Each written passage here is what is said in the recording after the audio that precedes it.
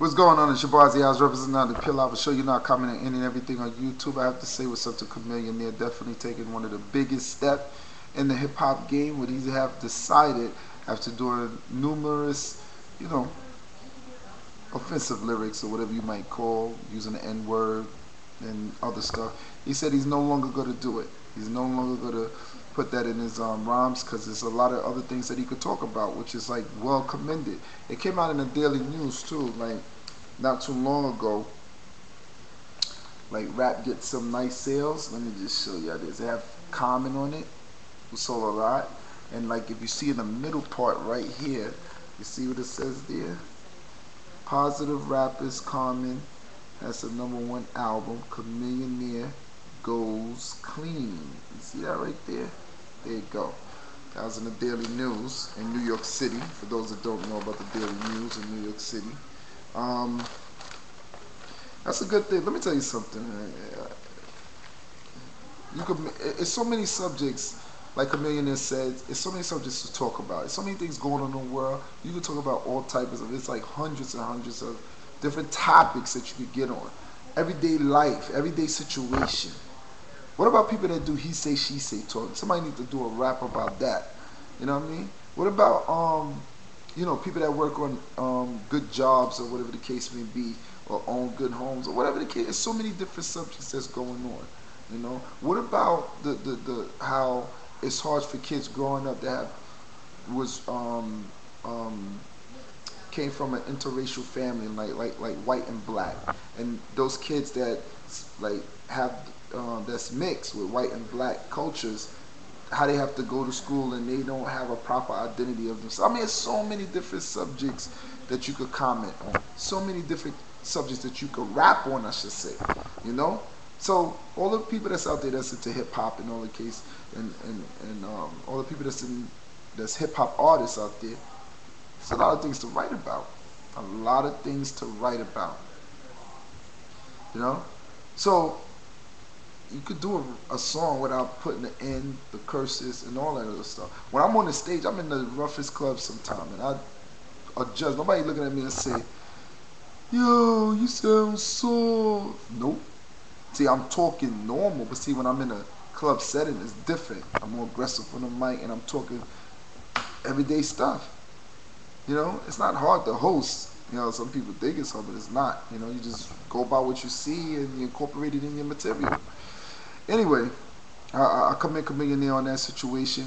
You know that, that that's a big move, and hopefully a lot of hip hop artists, you know, can uh, do that the same way. Look, you got to talk about the guns. You got to talk about the hey, do what you got to do to talk about what. I, the, the whole thing about it is is that broaden it out, expand yourself, show the versatility in your in your artwork. That's what it's all about.